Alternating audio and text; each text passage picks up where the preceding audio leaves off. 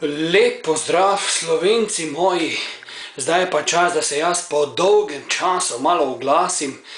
Dva dni po dnevu državnosti, čujte. Jaz sem zgrožen, jaz ne morem verjeti, kako proslavo so nam pripravili, čuj, to ti šalabajzeri. Če pa saj nismo mi v Afriki, jebem ti, kaj so to neki culokafri plesali, čuj, veš čaže v parlamentu, čuj, pol pa še na toti prireditvi. Lani je vsaj Lina Koduzovič pela toto himno zračnih sil, leto so pa neki culokafri plesali. Se nismo mi v Afriki, jaz sem samo čakal, čuj, da Tirk, Danilo, predsednik naš ven levega mladiča potegne pa da zapoje Hakuna Matata, čuj. Pa to bi pasalo v kontekst. Kdo tim culokavrom jebem ti, no? Če pa nam se bojo smejali vsi, pa tudi Napolitano, ali kaj je bil z Italije, če pa on ni mogel verjeti, kaj se dogaja.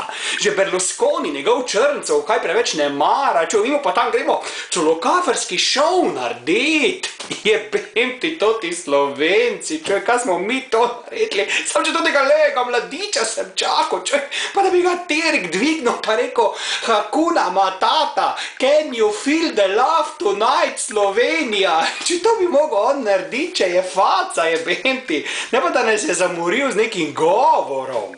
Potem pa tudi Pavel Gantar, predsednik državnega zbora, čuj. Nisem verjel, da je on stand-up komik postal.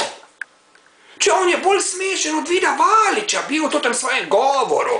On je rekel, da Slovenci danes bolj živimo kot nekoč. Če jaz sem, sem crknil od smeha, ko sem to čul. Če on je dober stand-up komik, on bi lahko kariero z tega naredil. Če pa pa tudi bogi pahor, kak se je on sprehodil s to svojo Tanjo, kaj je že pa tudi rdeči preprogi. Čuj, saj on je, on je pogumen fant. On pravi, čuj, da bo se potopil s Titanikom, da ga ne bo zapustil. To je pogumno dejanje, sam pahor, čuj. Ti moraš Titanik rešiti, ne pa čakati, da se bo potopil, jebem ti, čuj. Ti moraš zakrpati to lukno, ne pa čakati, da se ti bo potopil Titanik. To nas ne briga, da boš ti onako, boš potonil, čuj, ti moraš rešiti ladjo, je bil ti borot. Pa kaj sem te jaz volil kar tako, čuj, pa njega srat. Pa saj so ti vsi pobegnuli, borot, je bil ti, no.